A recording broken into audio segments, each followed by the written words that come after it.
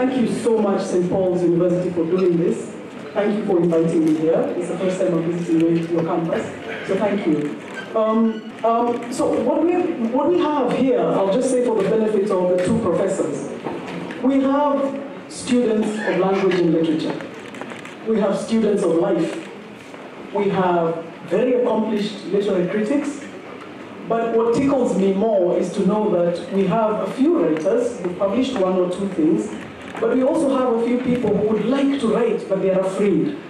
So this is your moment to catch some wisdom from two very accomplished um, creative writers. But I also need to say that the conversation we're going to have here today is not just from creative writers, which the two professors are, they are also very accomplished literary critics. As people who talk about the meaning of creative expression, the merits of the text, and so on. So we will draw from all of those resources uh, in the course of this conversation.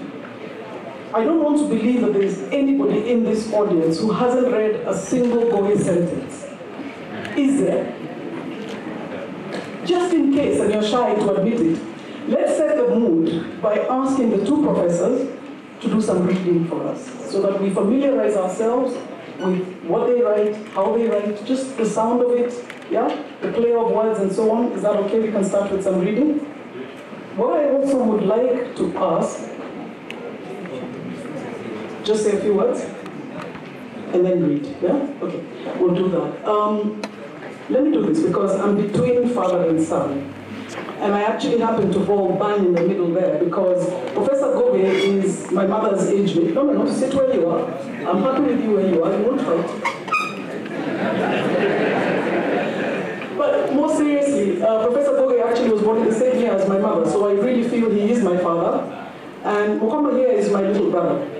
Now don't worry, I don't actually have any little brothers, so I won't bully you. Okay? But I will ask that since you're my younger brother, can I for today, to avoid confusion, call you Mukoma when I ask the questions and refer to dad here as Prof. Is that okay?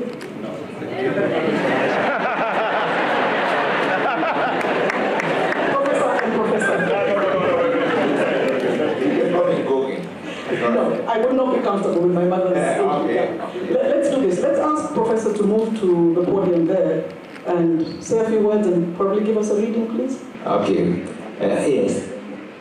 I'll read from this, but I'll need a little bit of help. Can I read from there? Yeah. Okay. Yeah. Wabia to connect. to connect.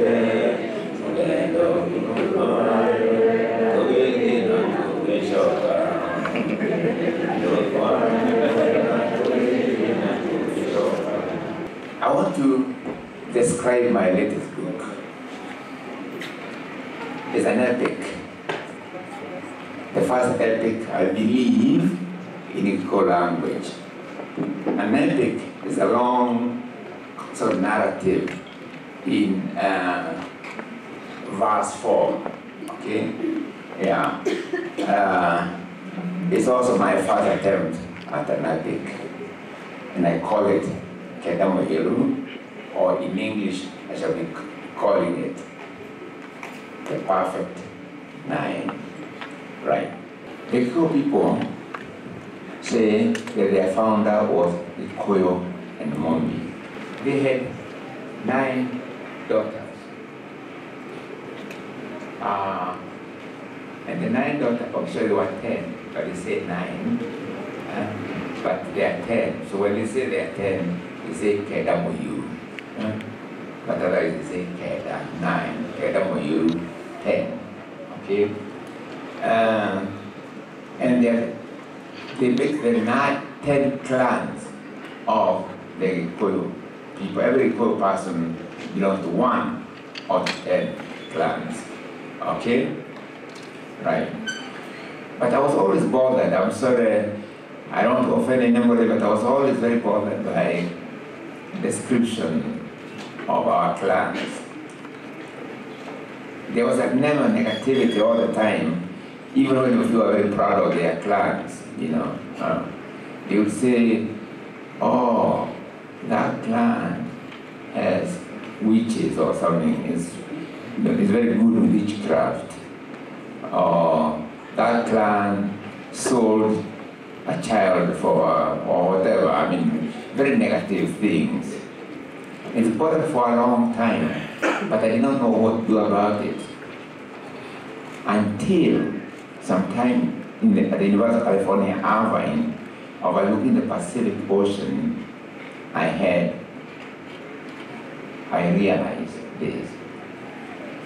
Those 10 girls or women did not have any brothers. Okay? So really, literally, there's one man and 11 women. So those girls had to do everything.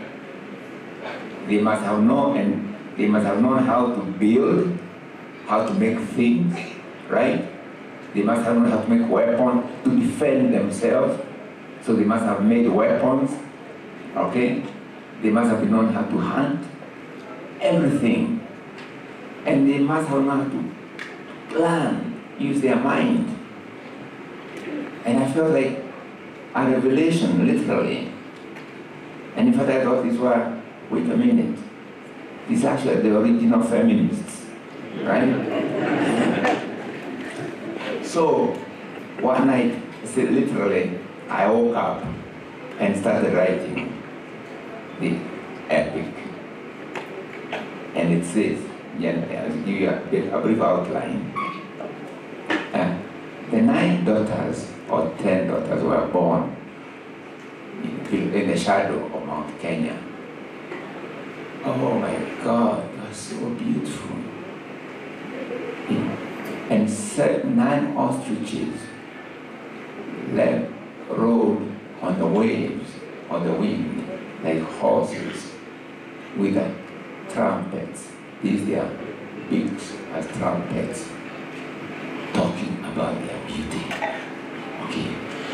And wherever young men were, were in the continent, each would see the beauty in their dreams, and each would wake up to pursue this dream of beauty in their minds, or their, their, eh, the beauty in their dreams. To follow the rivers, whatever was nearest river, but then they found other young men had similar ideas, pursuing this beauty. They followed the major rivers of the continent uh, towards the mountain of the moon, or the mountain of ostrich whiteness, what we call Mount Kenya. Some fell on the wayside, others this. So only 99 passed, came to the, to uh, the home of Gikuyu and. Now remember there are 10 women, 99 men. Go tell them, mom tell them now, now you have to prove who you are, testing. Eh? You go back to the mountain and bring me each some handful or whatever in a gourd of that moon whiteness. That's on Mount Kenya. Bring it home. At the same time, I want something else. Let me explain. The ninth daughter, who normally is not hardly mentioned in the myth, is called Warigia. And she, she's born without firm legs. Okay? So she is, um, how shall I say, grown woman, except for the legs. But there's a cure for her. And the cure lies in a hair that cures all, and the hair grows in the middle of the tongue of an og- a man eating ogre. Okay? Right? And something more, the ogre actually is invisible. Except for the tongue occasionally, like when it comes to capture any of them. So, this is a task they are given. But the girls are not left behind, they go with them. They will go through whatever difficulties they come through, they will be part of the challenges they meet on the way. Okay. Of course, you're going to read the rest for yourself it. But let me tell you, again, they were uh, mothers or matriarchs of the nine clans of the Kru people. And have you ever heard of them, Donkey? Some of yes. Some of them. Oh, can you tell us a little about one of them, maybe? can you come here? Sure. Okay. Um, Is there our boy here? oh, boy, right here. Our boy. Yes. Wambo ni mmoja tu. Wambo. Our boy. Wambo. You know our boy? Wambui. Okay. The clan. Okay, the clan of our boy. What do they say about the clan of our boy? Wambui nyina wa Ambui. Ate Mumbui eragwo eragwo endirie kahĩ njahĩ nĩ ng'aragu mwarimu niguo njiguaga. Ĩĩ. Aca. Wambui agatũmire kagĩrĩre andũ irio hĩndĩ ya ng'aragu. Gagĩcoka na kĩũndũ kĩiyũru njahĩ mahũna makĩrana. Kahĩ kĩondo ng'ong'o mũkwa kĩongo ta kairĩtu na twahũna. Kaĩ nĩma kahĩ na kairĩtu gũtirĩ ũtangĩhonokia bũrũri-ĩ. Ombaga kĩondo agĩtaraga njata amenye mĩthiĩre ya thĩ yothe. Na Wambũi nĩ mwara. Ĩĩ. Atongoririe mbũtũ e ng'ong'o-inĩ wa Wambũi mĩrĩndũ. Wambũi nyamĩcore. Nĩ mũmĩũĩ? zebra. Aha.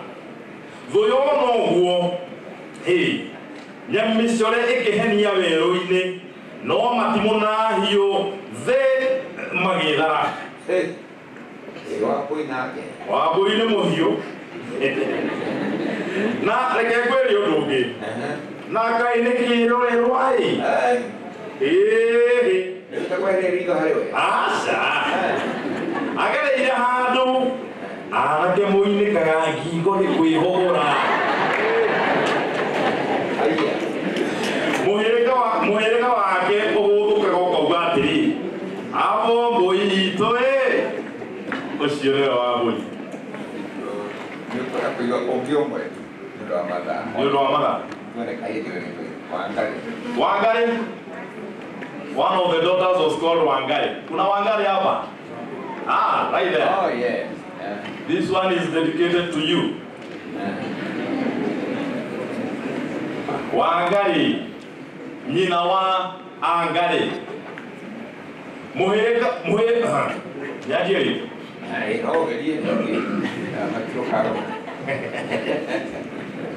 Waangali, nyina wa angale. Muhireka wake ukaga ukauga abongarei toe Wangari eo ũrũme ta Wangari na maitho make utheri o taguo. E mĩtũkĩ ta ya Ngai akĩrangĩra ũtarĩ akĩrangwo nĩ arĩa marĩ. Na nĩ mwara atĩririe wĩra andũ mambe mahũne ndũma. Maũrokera makĩũruta na hinya na kio na wendo. Aikĩirie ngarĩ gĩcingai. Yona thandĩ rĩera-inĩ ĩkĩũra nacio mbũri ikĩhonoka. Oigaga ngarari cia kũnora meciria nĩ inoro rĩa muoyo. No ngarari cia kũnora hiũ nĩ inoro rĩa gĩkuũ. Wangarĩ nĩ rorewa atĩ kwĩ mwanake watũire ahumbĩrĩte guoko Huh? mwarimũ harĩa ageithirio nĩ wangarĩ atĩ ũrugarĩ ũcio ndũkananyuo nĩ riũa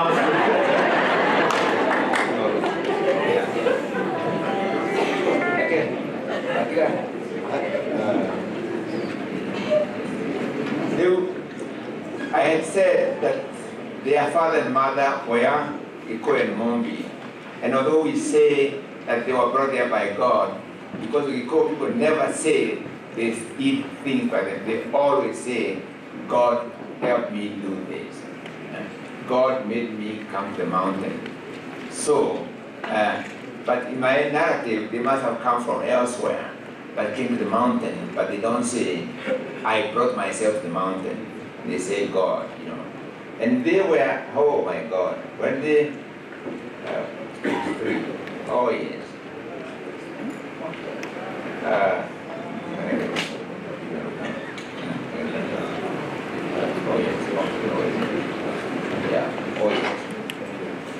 When they get to the top of the mountain, they saw the beauty of the land in front of them, and were totally, that's how they knew they had got to the right place. That's why they said God brought them there, because the beauty of the land was absolutely mesmerizing. And they simply fell into a song, or they broke into a song.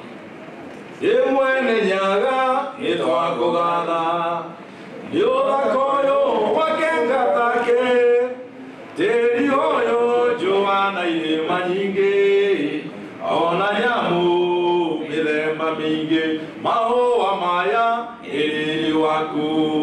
mĩtĩ na hamwe na nyoni na ngũyũ njũĩ-inĩ na ndia-inĩ ciũmbe ciothe riri waku twathikĩrĩria twaigua mũgambo waku ngayũ kiugo thako ũyũ watwathĩra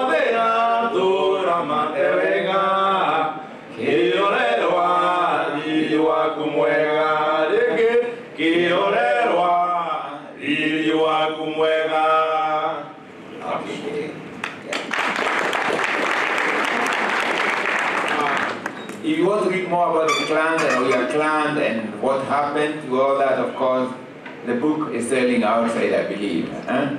It will eventually be translated into English and as the Perfect Nine. And I'm, I understand there is a translation about to go into operation, into Kip, Kipsigis? Kipsigis. And I, so we might actually see it translated to other languages before the English one or at about the same time. And Kiswahili, I hope. Thank you. Since I'm taller, somebody might have to adjust the mic.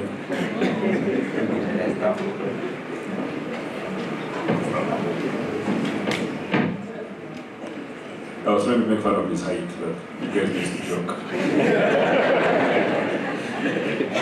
Yeah, and actually, uh, while I was sitting there, uh, Dr. Nyairo passed me a note to say that, uh, that Fafa cheated in the duel because he brought somebody on stage to help him. so, as you're thinking, as you're thinking about who is winning, keep that in mind. Some of us are not playing fair. I, on the other hand, have only my pen. Anyway, so let, let me begin by thanking uh, SPU uh, and of course to Dr. John Ndavula, you know, who really, you know, and, and of course the powers that be here, you know, but it's Dr. Ndavula who really made my visit possible, and all the connections and networking and so on and so forth. Uh, of course also to Dr. Joyce Nyairo uh, for agreeing to moderate. Um, if you, yeah, she wrote this, um, it was a review of my brother T's book. Uh, it's called the, the Ngugis Jukebox Dance. I don't know, that, that stayed with me, you know, you know, because it turns out in all our rating, you know, the Ngugis and all their rating, we all have a jukebox. I don't know why, you know, but uh, for, those, for, those, for those of you interested in rating and psychology, that would be a, a, a good start. Um, yeah, also, I wanted to say it also means a lot for me to be here in Limuru. Uh, I grew up in Ghetto about 15 minutes from here. Uh, I went to Tigoni Primary School, uh, went to Geria Secondary School, then went to Kanunga. So, you know, yeah, in other words, I'm what you might call a local boy. Uh, but don't call me boy, maybe, maybe just a local prof. you know, yeah, and then also to be in the mood also, yeah, and to be on this stage with my father, to share the stage with my father, and of course with my brothers and friends here as well. But also equally importantly, uh, with my wife here, Maureen Park, Dr. Maureen Park. She's a real doctor, unlike Papa who has honorary doctorates. Okay, I really enjoyed that one, I have to say. Yeah, so yeah, yeah, Dr. Maureen Park and also my daughter, Nyambura Mukoma, who is named after, after my late mother. Um, so, but let me begin. I want, yesterday was Kimathi execution day, right? It was his uh, date of death. Um, and I was thinking about, you know, about all the things we don't know. First, we don't know where he was buried. But what about our Kenyan history don't we know? And I've been, I'm I'm writing a book now on uh, Africans and African Americans. And one of the surprising things that I found uh, was that actually Malcolm X came to Kenya uh, in, in 1964, thereabouts. But he had also actually come to Kenya in 1959. But anyway, when he was here, he met with Pio Gama Pinto, who was a trade unionist, uh, you know, a radical trade unionist. Uh, he a, an Asian Kenyan. Uh, he also met with Jaramogi, met with, uh, with, uh, with President Kenyatta then. Then he went to Tanzania, went to Zanzibar, met with the revolutionary Babu. But um, when he was in Kenya, he also gave a talk. Uh, he gave a speech at the Kenyan parliament. Now, I've been going around asking Kenyans, you know, how many of you know Malcolm X was in Kenya? By raise of hands. Uh, no, uh, Don't raise your hand if you have heard it from me. Because I've been saying that a lot. But how many of you know Malcolm X was in Kenya? All right, two, three. Yeah, so, uh, okay, fine. Okay, let's say even 10, you know, to be generous. Right, you know, so, so, so I, I, I think they're very deep questions about what we, we don't know where Kimathi was buried. We don't know the history of, uh, of Malcolm X in Kenya. You know, and I just very quickly, the fascinating thing about Malcolm X and Pio Gamapinto is that, Pio Gamapinto, is that they were assassinated within four days of each other, right? You know, I didn't read there are all these questions we don't know about our Kenyan history, but I wanted to, be, to read a, a poem called A Collage of Death Masks uh, in, uh, in memory of Dedan Kimathi and all the revolutionaries, uh, thinkers, and you know, and, and, fighters and so on and so forth that we have lost over the years. Uh, a collage of death marks. What I did was I, I love biographies, so, you know, so I read all their biographies and then extracted what I thought was the most poignant uh, thing about them, right? You know, it's, in some quotes I do what for what others are me imagining them, right? Uh, a collage of death masks. Steve Biko. With our two hands, we ply open my chest for arrows, tips poisoned with black ink. I write what I like. Amilcar Cabral. To be a past midnight, I have returned to the source. Che Guevara. Next door, a single gunshot announces my friend's death. Hours later, a key turns and I stand on my wounded leg. Shoot coward. Your guillotine can only kill flesh, not what it dreams. Frantz Fanon. We are nothing unless slaves to a cause. In my militant servitude, I find freedom. Ruth First. When I fell, it was only to go find Mondlane to tell him Mozambique was free, and in Tanzania freedom had begun to fall. Garcia Lorca. In the distance between the bullet and my heart, I cannot remember the prayer my mother taught me. Tell her that her love negotiated this passage for me. Rosa Luxemburg. They keep drawing blood from the toiling oxen. Don't they know that death and democracy are infinite? That we each get ours in the end? Mondlane. I read Marx in Struggle only to realize I was reading him a second time. Karimi Nduthu.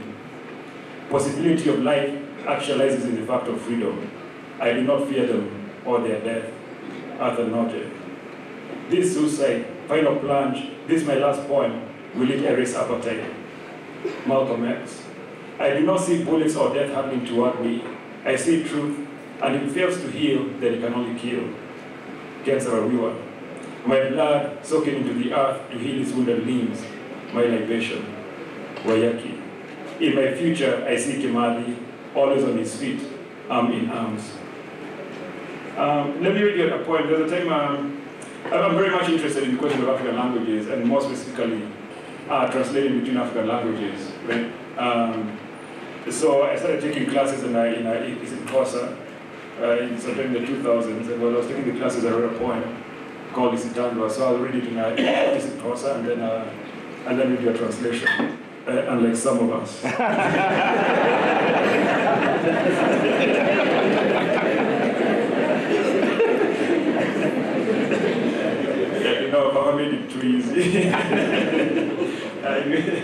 Uh, isitandwa. Yiza ngapa isitandwa namhlanje kushushu.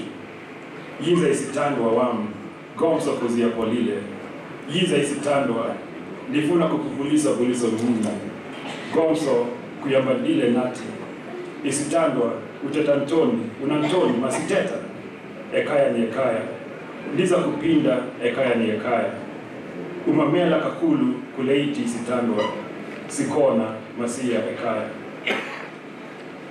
Our home is home. My dear, walk to me. It is hot today, but tomorrow will be cool. My dear, come to me. I want to ask you a question. What will tomorrow bring? What do you say? What is it with you? Speak. Home is home. Repeat after me. Home is home. Listen well. We are here, and it is late now. Let us go home. I thank you. Um, so that challenge about those who failed to translate, um, Professor is feeling attacked. Let me give him a chance to respond. I must respond to that one. Uh, oh yes, I can see. He said, unlike some. But I did not name names. Uh, well, yeah, I'm not going to name names. so my challenge is, you you wrote yours East Coast, huh? Yeah. Well, I'm going to do one in Luo. And furthermore, I'll go a step further. I'm going to teach them Luo in two minutes. Two minutes. Okay? In our Luo language, when we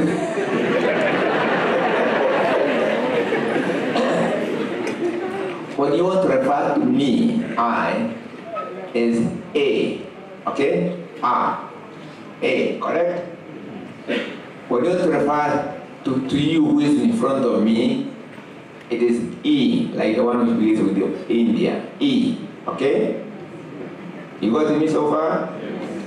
When you want to refer to him or her, it is O. Or O. O, like zero. Okay? Is there a low speaker here? Is that so far? Right? So, if you know that, all you need to know is just a verb and fit it there. Say, for instance, you the be, which is to go or going. So, you say, yeah, are thee, Evie, or thee.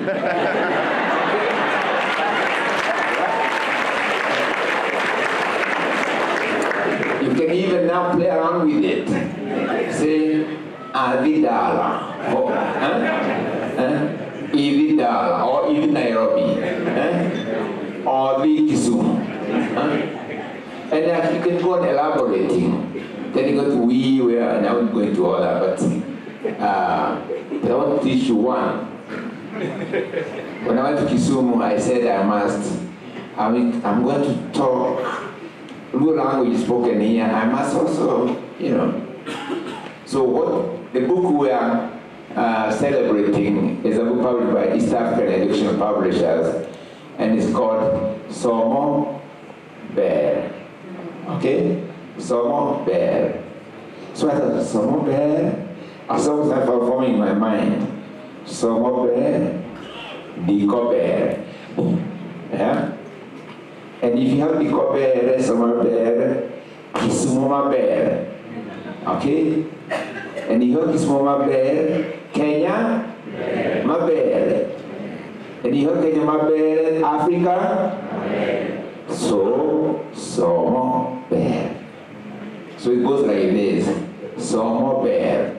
If I say Somo Bear, the other side you can say Diko Bear. Kismo bear, Kenya bear, and then all of us, Africa bear. Okay? So remember, if I say Somo, Somo bear, the other side says uh, Kisumoma bear, all of us, Africa. Let's try it. We shall end up becoming good speakers into. okay? We just say Somo bear. Isisumu Kenya Africa mbele, therefore so mbele. Huh? Got it? Well, not too bad.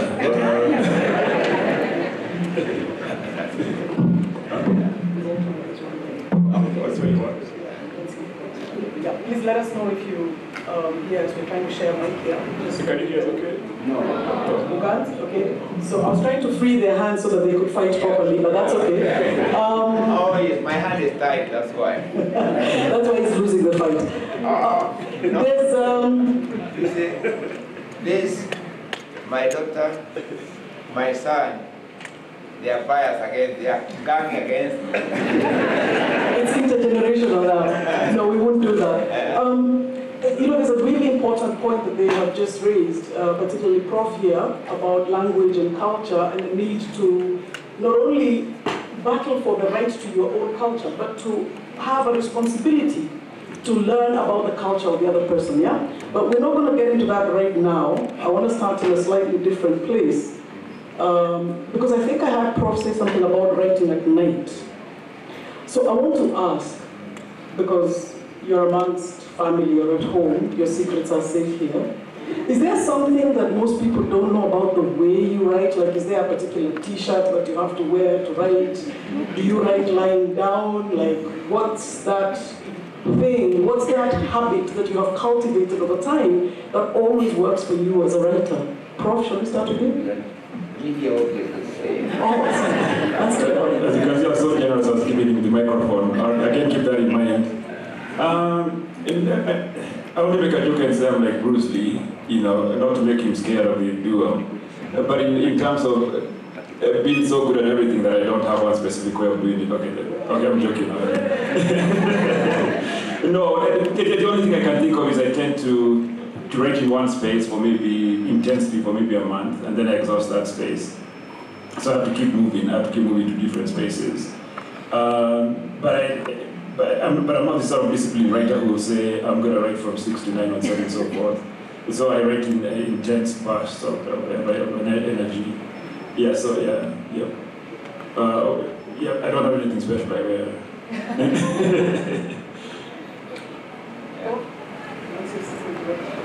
Well, in a sense, I'm like that a little bit. I don't have a, a writing hours. I don't sort of say from six to seven.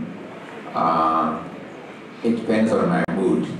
But the mood, if I get a very interesting idea, like when I wrote uh, I could write whenever I've got time. I mean, that was between my teaching, if I find a little bit of space, I can go and write.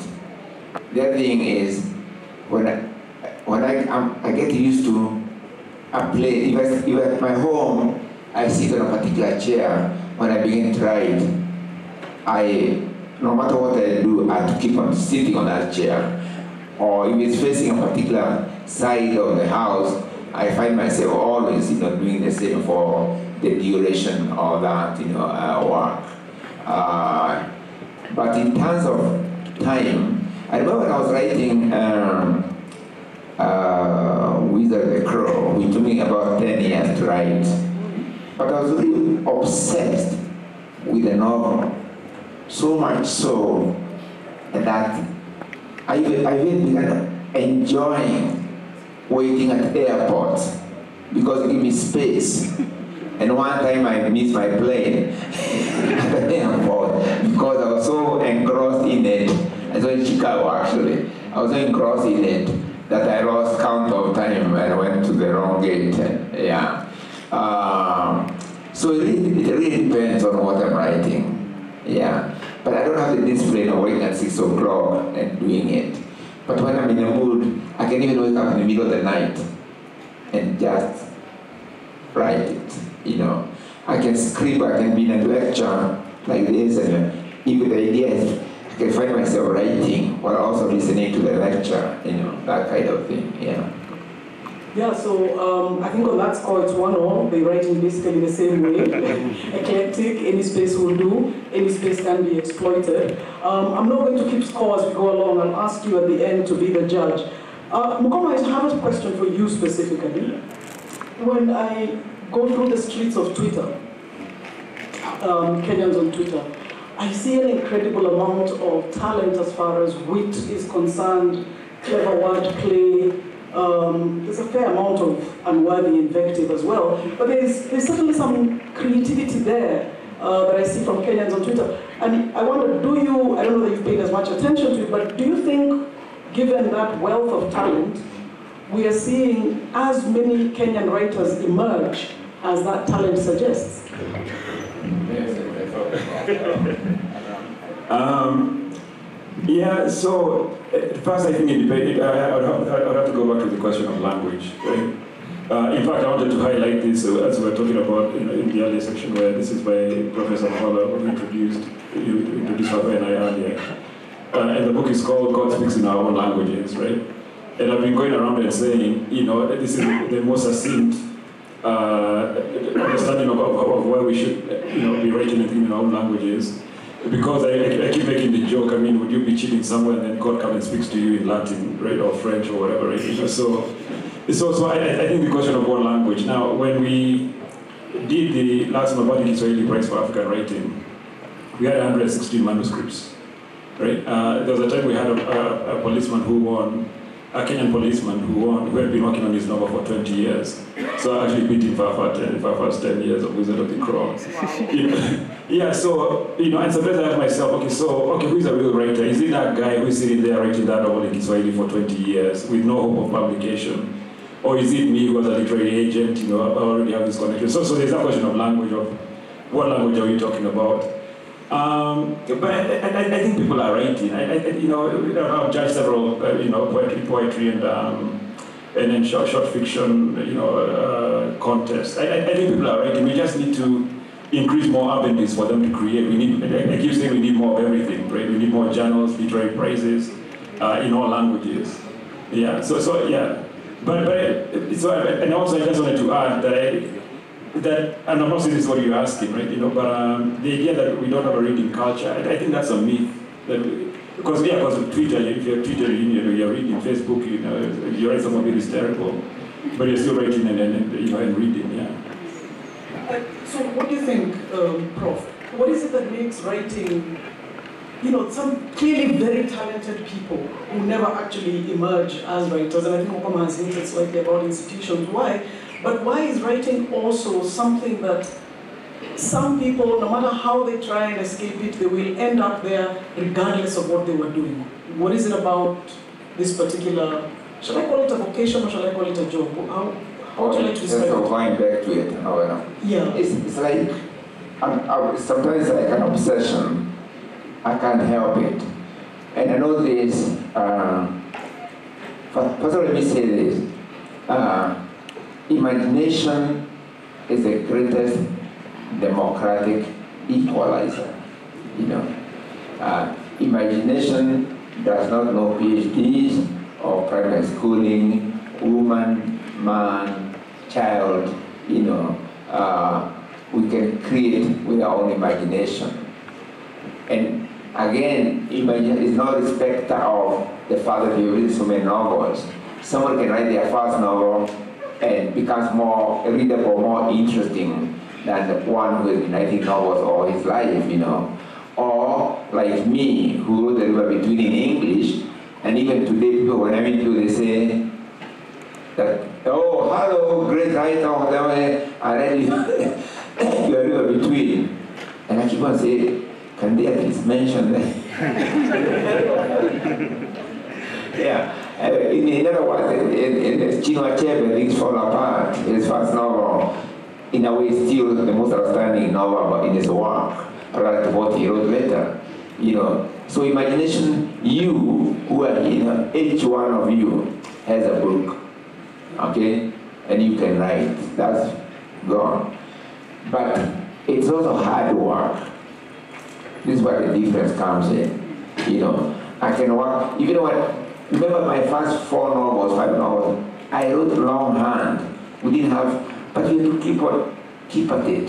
Sometimes I read the whole manuscript all over again from beginning to end, or whatever. So there must be that drive, has to be there.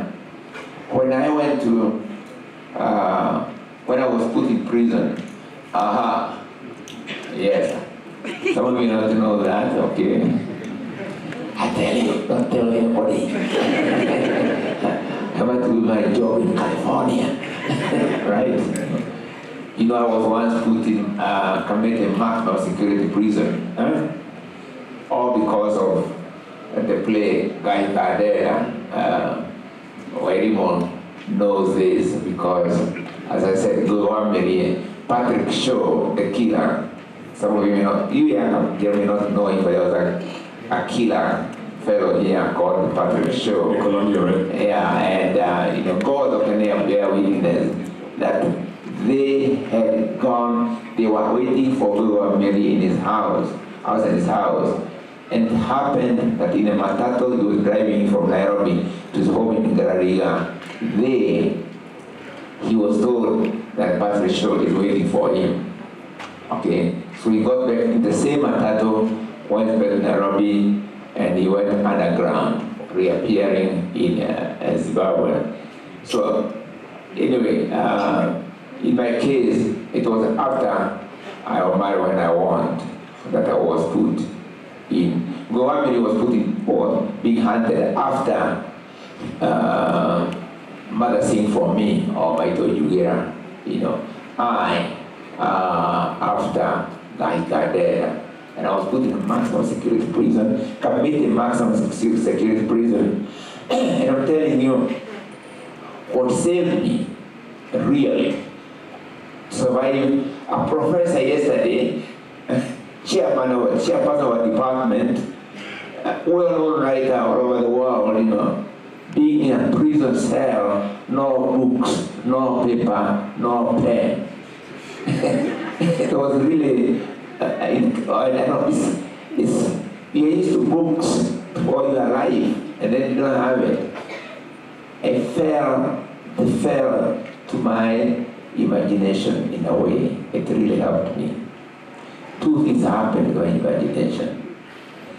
At some time, I realized I was breaking jail every single night. Right? It's amazing because I could visit home. Uh, I visited you at home, to check whether your music, you know, your house, check on your music and others, you know. Uh, I would recall on my had had, then I would come back to prison, okay.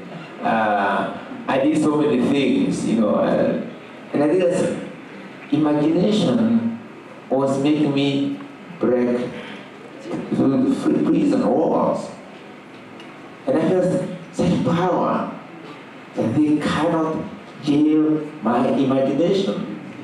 It's something, almost a sensation that I felt they cannot, the one thing they cannot do is uh, uh, imprison my imagination. The only thing they can do now is kill me. Otherwise, without killing me, and I got imagination, I can break jail every time, okay? And that's when I started writing. And then in the same prison, I started thinking about African languages and English and so on. And that's why when I made a decision to now start writing novels in the Gikuyu language. Okay, Yeah. before we go to language, um, you know, you've raised a really important point there about the risks of writing, the risks of knowledge, um, and also you pointed out uh, one big difference, or is it an advantage Mukama has? Yeah, technology. So he wrote longhand. You've never had to write longhand. So can we give the prize? Of No, hold it, hold not so fast. it depends on when I started writing. Because when I started writing, we didn't have computers. Then, you know, uh, I didn't see a computer until uh, 1990, and those were the old ones. But, but fine, yeah, you know, yeah. yeah. You, you granted that? Well, begrudgingly, yes. Begrudgingly, okay. So I know that you mentioned it briefly when you were on the podium and, and you kind of tried to slide past it, but I'm still going to ask this question because it's disturbed me for the longest time. There is this one scene that runs through the writing of all the gories, whether we're talking about Wanjiku, we're talking about uh, Tivia, we talk about Dad, and we talk about you. So the scene, it's a bar, a pub. There's one of the characters who is music playing in the background. and One of the characters stands up, walks to the jukebox, puts in a coin, selects a song, and starts to dance. Uh, I miss it already. You're missing that scene. Either dancing by the jukebox usually dancing alone, but selecting a song and dancing. So, so this jukebox, is it that you people as a family own jukeboxes? Do you manufacture them? Why does this stroke keep coming up even when you're writing? You can't avoid it now, you have to answer. That's, that's for common and Yeah. I will remind you of the minutes of glory. in there are Yes. there are no jukeboxes. There was a jukebox. Yes, oh, yeah, that's true. That's Yeah, true. no, I mean, it- it- so, yeah, I mean, we, one of the things I loved was actually going to a bar, you of course, you know, I I don't reveal the age I started going, uh, because my daughter is here. But anyway, it- but, but, but, no, but really, but one of the things I loved was going to the, that, that whole process of, you know, you, know, you have some coins, first you have to go get change, you know, from, from, from, the bartender, then, you know, then you select, then you spend some time going through the, you know, th- those are the days when you have to flip the brain. And then you find the song and you're trying to read the mood of the bar, then you select the perfect song, and then sometimes people get up and dance. But um, so, so, so that, that aspect of it, but the whole idea of music as well, but that physicality of it, I love that. But um, there, was a, there was a friend of mine who is now, who has now passed away. Uh, he was a South African controversies uh, freedom fighter, and, um, and he was in exile in, uh, I believe, in Angola. So and he was telling me this story one day about how he went to a bar, right, and you know he played some music, and uh, the bartender who was a woman, you know, came and they danced, and they, they said they danced for hours, they didn't talk, um, you know, and then and then they just parted ways. Yeah, you know, yeah, and I think in a lot of ways, any anytime I'm thinking about music, uh, anytime I'm writing about the jukebox or music in general, I'm trying to understand that conversation they were having. Yeah. Yeah, music. I think. I, I think that I know what I know music runs in my family, but not from my side of the family. At not me from me, you know. But their ma- we just had him sing, but he's yeah, not but their but their mother, Nyambura, was actually a very good singer. Came from a family of singers, so there's a kind of uh, something that runs through them in music. Uh, uh, here is actually a pretty good composer, a shy one, I admit, but still a composer, you know, all the same. When they were children, one tune I have never, I've never forgotten a tune they composed as children about a person who is bringing water. We didn't have water then in our house, we get the water. So we asked somebody with a donkey to bring the water, we, you know, and we kind of bought water. And they composed a song. In a Mary, in a Mary, oh, uh, something. Correct, yo? I'm just about to say, what a terrible song. no, but they did it as children. It's a very, very it's stayed in my mind. Let me put it this way. For me, it stayed in my mind. I'm not, a, I'm not a composer, but it stayed in my mind. Okay. Uh, during Gaika, what people can bear witness to this, um, some of the best melodies in Ngaahika Ndeenda were melodies actually composed by Nyomo. I gave him the words, he put a completely new melodies, and they were very, very beautiful. Uh, Kimunya also gave me words, and he put another melody. Were some of the most outstanding melodies in Ngaahika Ndeenda. So what I'm saying is kind of a running theme in my, my, my family. Me, I can hear music in my head, but it's a problem when it to come out of my mouth, I know what happens. You know, uh, and uh, now I have started at 70 years of age. I enrolled in piano classes. You know, so I've been playing the piano a little bit. You know, but even then, no tune. Well, I can only play. I can only play that which is on paper. I can read music and play, but I cannot sort of create even the simplest tune that they're able to do. So there is that element. But having said that, just say about music and rhythm. Actually, music and rhythm is in all our lives. You just watch people actually walking. In some places, I, University of California, I sometimes stand, sit them, and just watch people walking. Because I realize people are walking rhythmically. they are walking musically, right? Yes, you see that some uh, one beat, another uh, to make the same. They, they make two of them, so you get full note, uh, half note, quarter note, and so on. You know when they are walking, and then you get their combination and it's really very, very in interesting. You try to watch people here outside, you'll see they are walking musically. Yeah, no, I was going to say, um, yeah, so uh, I have a novel that's coming out uh, with Cassava Republic Press called uh, We Sing the Tizita to and Bury Our Dead. And it's all about, um, okay, if, if you don't know Tizita music, uh, just go to YouTube and Google Tizita. It's a form of Ethiopian, Ethiopian music um, it's more like blues, right? But it's more about, it's, it's almost as if the musicians are fighting about the soul of, of Ethiopia? It's, you know, and nobody can tell you exactly what it means, but when you listen to it, you can feel it. Yeah, so, so, so in that novel, um, I have four musicians who are competing to see who's the best Tizita, Tizita musician. So the remarkable thing here that you're both saying, um, if I understand you correctly, uh, you know, when you're a creative person, the intertextuality, it's writing, it's music, it's Yeah. sound. Yeah. You're also an observer Yeah. of life, Yeah. um, like the people watching you've just described and the kind of thoughts that, that run through.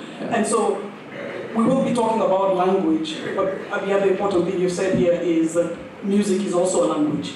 Yeah, if I understood you correctly. Um, let me ask, um, we've, you know, we've talked a little about writing practices of writing, habits of writing. Let's also talk about mentoring, because when you get to a certain stage in life, um, particularly when success uh, is around you, mentoring becomes part of what you do. So if you could just talk a little about that. Uh, I'll I'll start with you, Mukoma. You know, in the lottery of life, life in some ways is a lottery, okay? So you found yourself the son of an incredibly successful creative writer. And you grew up with a Uh, immense, smiling. give him credit where it's due. um, you know, not just the son of an incredibly cre- uh, successful creative writer, but also you grew up with the privilege of books around you. It is a privilege. Sometimes when we talk about privilege, we think about money in the pocket, but let's talk about the other privileges that we have. So you grew up with books all around you. That's something that your father gave to you. You did not earn it, you did not apply for it. It's a lottery of life. What's the one thing that you would say your father has gained from the fact of you being a writer? That because you became a writer, there's something magical that happened in his writing, in his creativity. Is there, or did you just take? Did you give? Oh, well, but he's one who should answer that. No, I want to hear it from you. Yeah, I mean, She's your sister, Oh, remember? yeah, yeah, yeah, yeah. But okay, so as I think about that, let me address the, the, the first part of your question, right? Yeah, no, I, I completely agree. And the reason why I come to think about the absence of structures, right? The absence of structures is that I understand my my own upbringing and how lucky I was there to be surrounded by books. You know, I keep saying when I sat down and said I wanted to write a, a, a book, I had no doubt. Like, I, there was a time I attempted a memoir at 14. You know, yeah. So of course, it was very short. Uh, you know, but, but even then, you know, like I never had any doubt I could sit down and write a book because I was seeing it being done, right? I grew up reading Richard Wright, I mean, even, even from a very young age, because I, I read whatever I could in the house. Yeah, so so that's why I ended up thinking about, okay, so for me, I had, I could see the, I the stairway to the book, so to speak, right?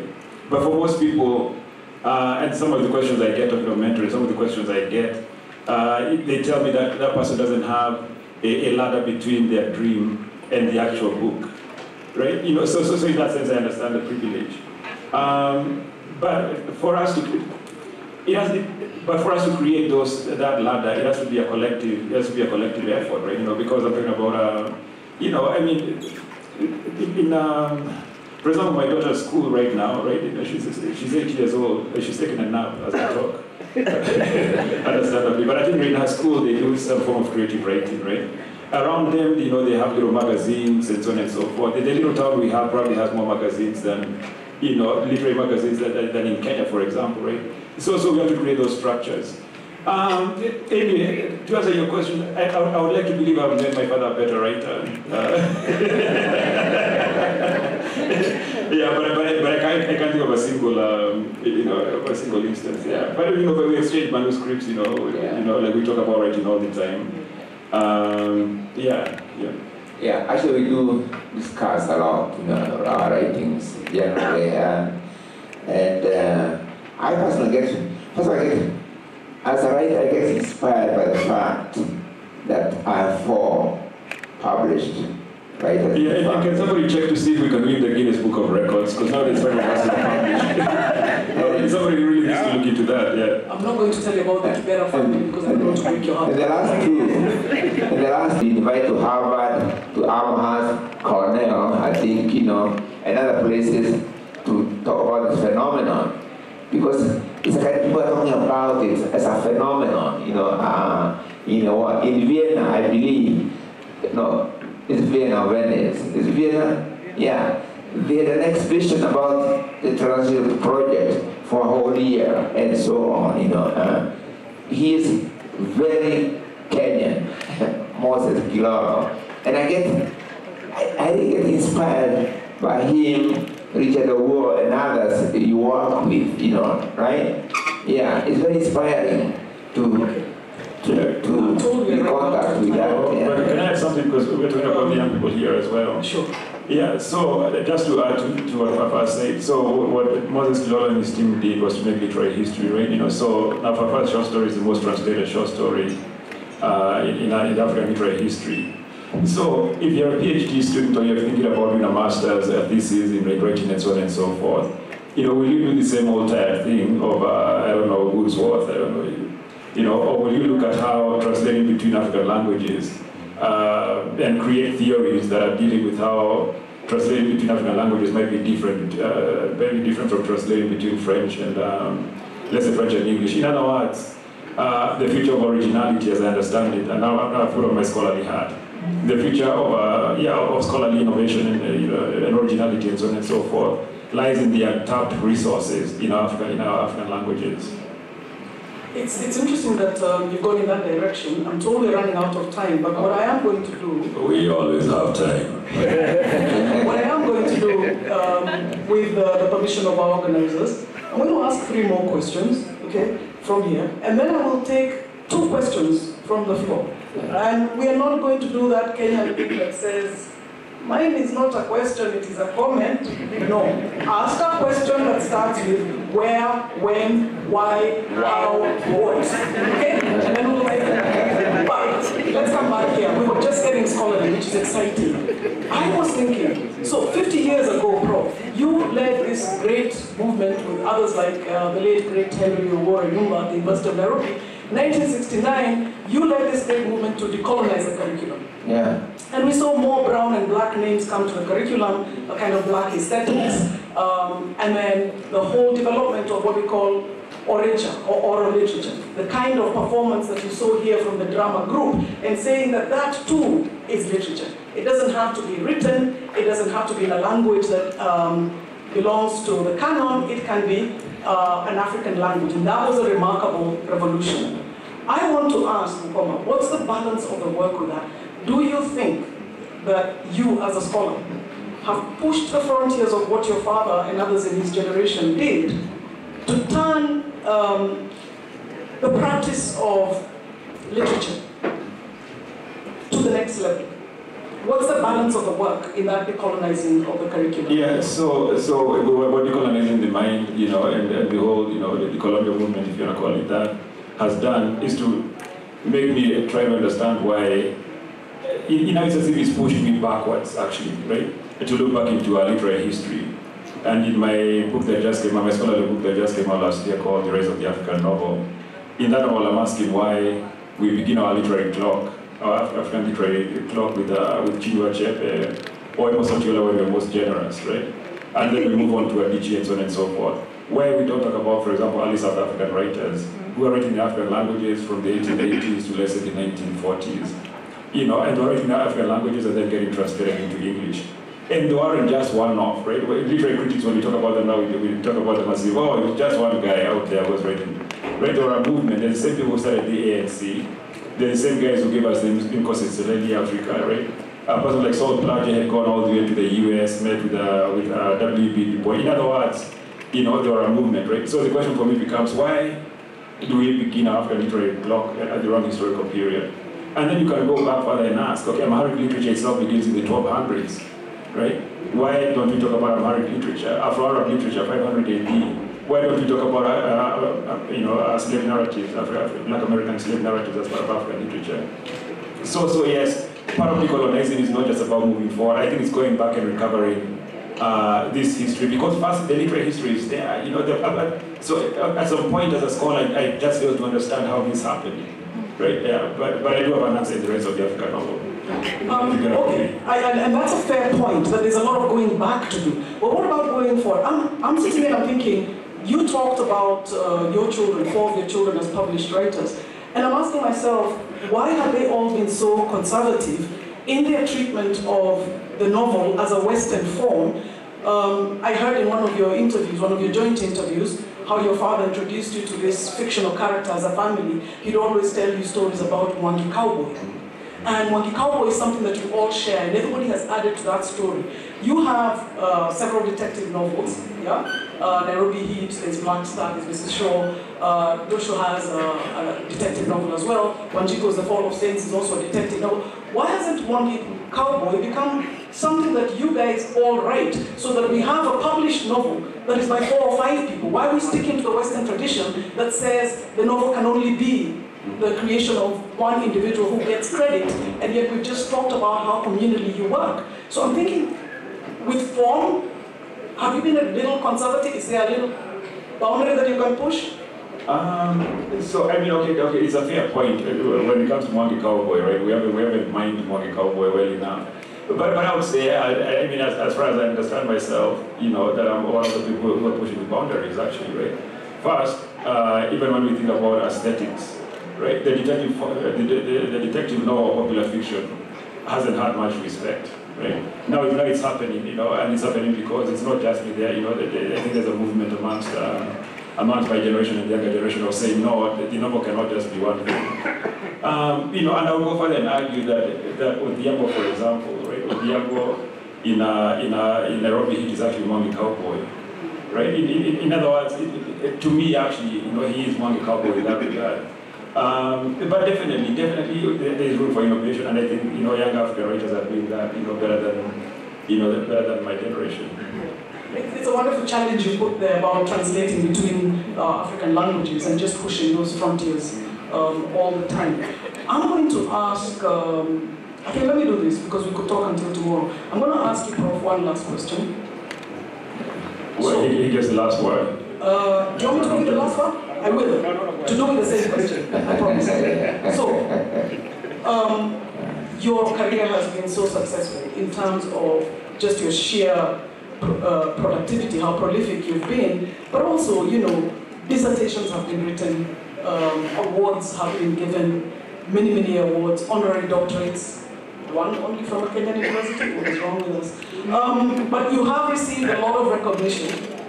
Um, and then so it's 2016, and you get nominated for the Nobel Prize in Literature.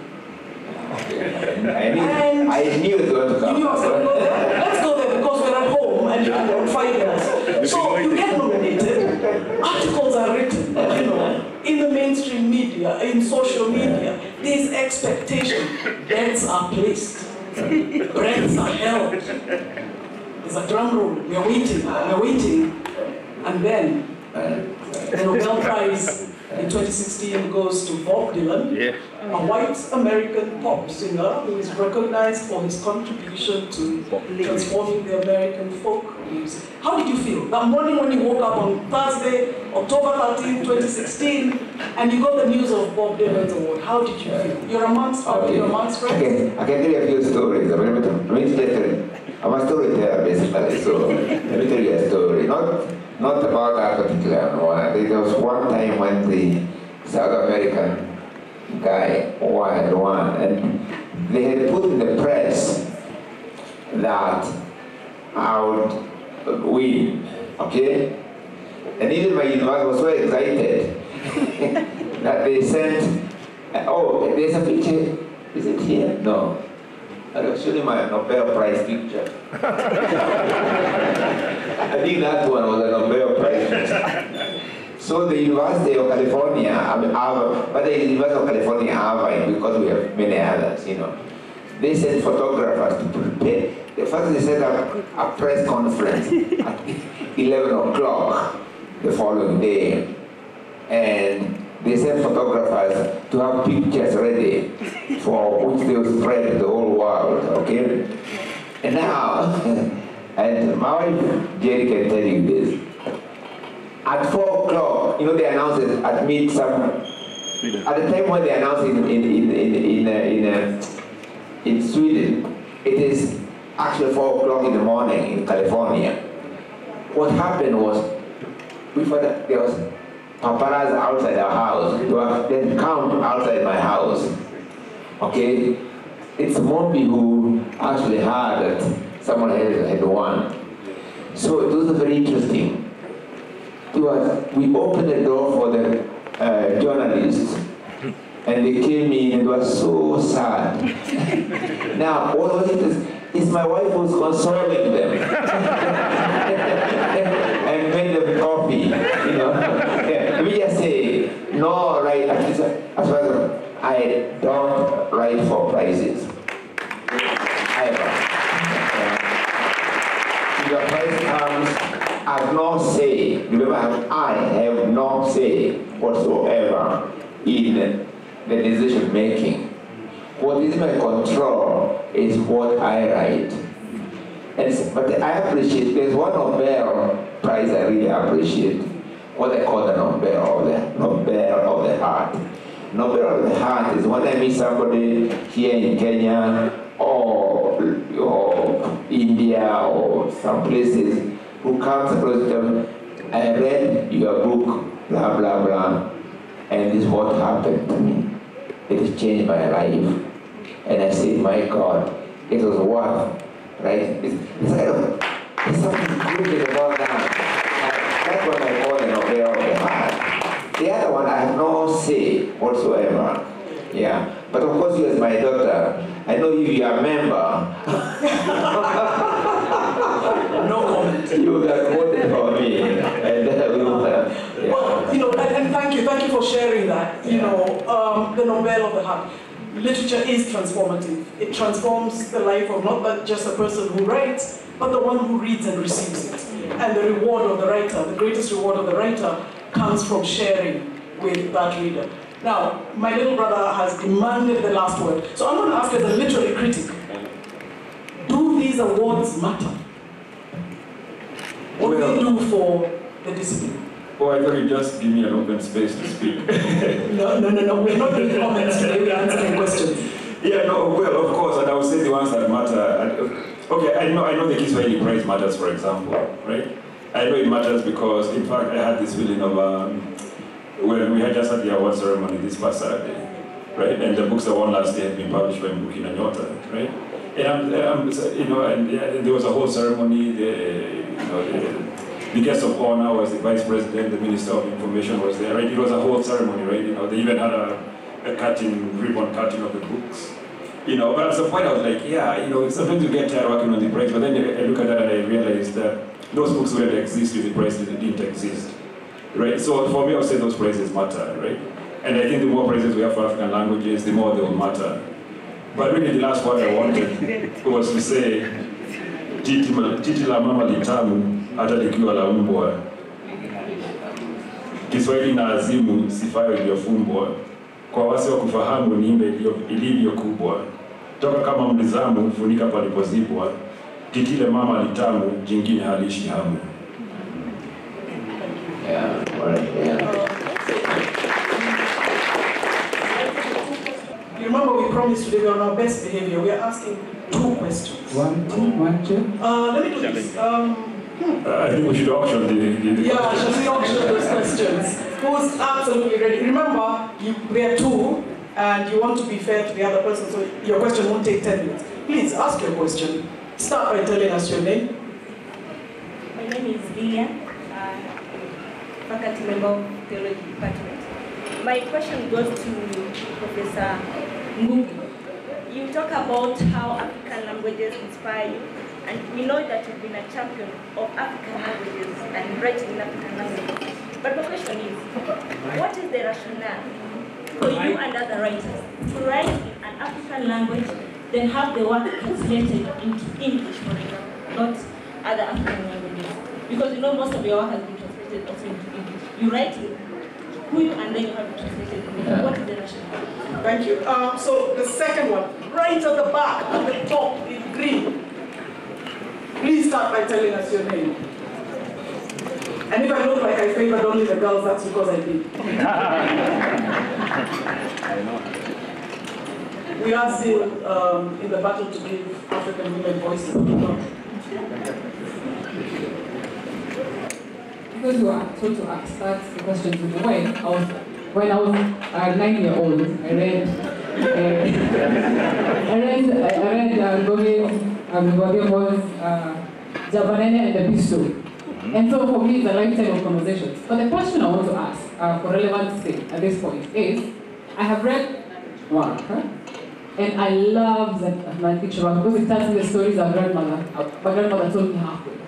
Uh, but I've also read like his last book, Secure the Base, and I've recommended it to anyone who either works in the church. I'm a St. Paul's alumni of uh, divinity. Um, and so my, my question is to both uh, Professor and Mukoma because we have we, we are exposed to his nonfiction work, I mean his fiction work in the schools. How do we create a space for books like Secure the Base, which would be really le- relevant for courses like international development or African studies? Asante. Uh, thank you for being so brief. No, we will not do this. Um, how do we, where do we start? Age before beauty or? Maybe we should start with beauty. Start with beauty. Yeah, no, no, no. I, you know, first I wanted to take just a little tangent, you know, because I was, I was in a, you know, in a place of theology. So I just wanted to throw this out there as something we should think about. Uh, because something that really, really bothered me. Um, I was in Ghana uh, just uh, two or three weeks ago, and I went and visited the slave castles there, right? You know, and the most striking thing for me there was that you'd have a dungeon where the slaves were kept, you know, before they were shipped off to the point of, you know, the point of no return and so on and so forth. But you'd have a dungeon there, and then on top of that, you'd have a church, literally. Like there is no, you know, the church is a twice removed and so on and so forth. So I'm just going to leave that image out there for us, you know, to think about that, that sort of relationship between. Uh, and, and of course, I understand the concept of liberation theology and so on and so forth. But I just, I, I just wanted to share that with you, so it's not with me. Um, yeah. So I don't know. I think we need we, we need to take ourselves seriously, right? We're talking about you know creating spaces for, for literary theory. We need to take ourselves seriously and start introducing literary theory and start asking questions. And I was, like I was asking of why we begin the literary novel in the 1950s and, and so on and so on and so forth. So for me, I would say, yeah, I think we need to take all our total cultural output uh, very seriously. Yeah. Yeah. Uh, you mentioned secure the base, and many people not know what you are referring to. But do actually have a book called Secure the Base, Making Africa Visible in the World. Uh, the book has not been published in Kenya yet. Uh, so, uh, but I am sure it will be published in Kenya. But the question of secure the base is very, important, even in the way I look at languages. Having your base in an African language does not in any way mean that you are antagonistic to any other language. That's very, very important. It's a question of relationship between language that matters, right? I love English, after all, I love English language. After I'm professor. I'm not only professor, I'm distinguished professor of English and comparative literature. It's a beautiful language, it has great writers, and so on. I love French, I love Russian literature, and so on. You know, it's the relationship between our languages that I fight against.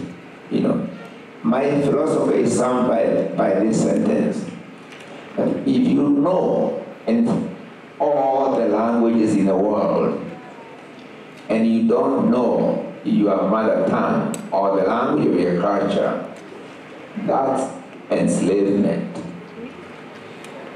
On the other hand, if you know your mother tongue and add all the languages of the world to it, that's empowerment, right? So for instance, in Kenya say, mother tongue as a foundation, secure the base, okay? Kiswahili ah, add to it, English, and a, number of other languages, okay? What I've been fighting against also is to hierarchy. It's doing a lot of harm in relation between languages all over the world, not just in Africa, where we can never see language as a network where they relate on basis of equal give and take, but they relate in terms of hierarchy. Okay, I don't like English hierarchy of being at the top, but then I go ahead and say Gikuyu should be at the top. You will reproduce hierarchies all the time. I need to think differently, I think in terms of languages as network, where they meet on the on the basis of equal give and take. And this is where translation comes, comes in. Translation can help in this uh, give and take uh, relationship between you know uh, languages. So please, uh, I don't hate English language is a beautiful language. Uh, I like it. Some of my books are in English, especially the ones we are translated to English. But I'm equally happy that some of my books are translated in Vietnamese, uh, are translated in French, are translated in Japanese, and, and, and Spanish, and so on. Okay, yeah. It's a relationship that I find hierarchy is what I fight against.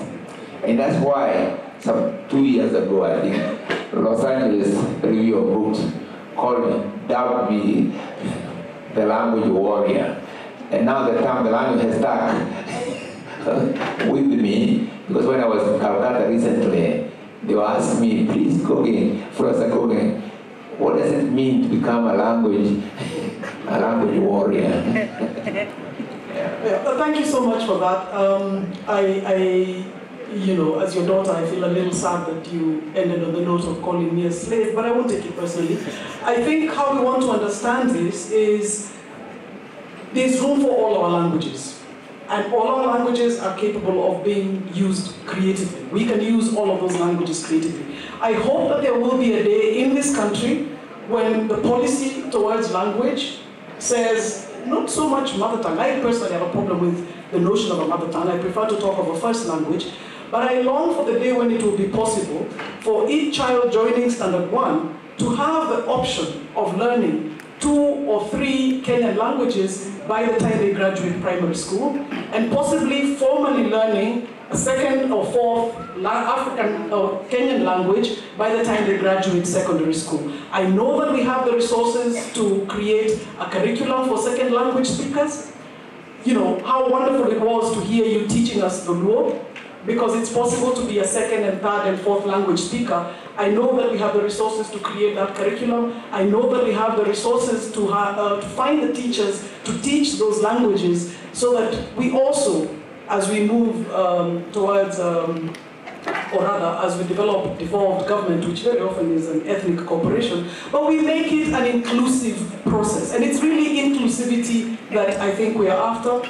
Uh, I think this is what we must promote so that before one another, the culture of the other is, is worthy. And I think that's a wonderful gift that you both give us, is the recognition that there is room for all of these languages. Um, none is greater than the other. Shall we finish on that note and I ask you to shake hands because you managed not to fight. Oh. That was beautiful. Yeah. Well, but he promised the fight is coming afterwards. This is what he said. We shall not